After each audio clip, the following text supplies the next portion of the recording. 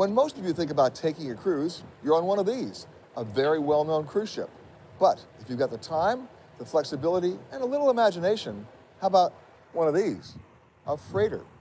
It's doable. You might call it the newest minimalist travel trend.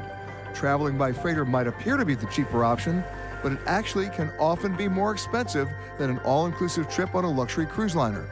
But there is enough included to keep passengers entertained on these freighters, like three meals a day, which you eat with the ship's officers. You'll also get access to renting movies and music. And while you're guaranteed a private room on most freighters, guests are responsible for doing their own laundry, and rooms are cleaned weekly instead of daily. And a word of caution a room with a view is not guaranteed on freighters. Your cabin could be blocked by cargo. Still, it's the overall experience that counts. So, if freighter travel sounds like an option you'd like to pursue, you'd better plan in advance, at least six months in advance. Most ships take no more than a dozen passengers. Believe it or not, spots fill up fast.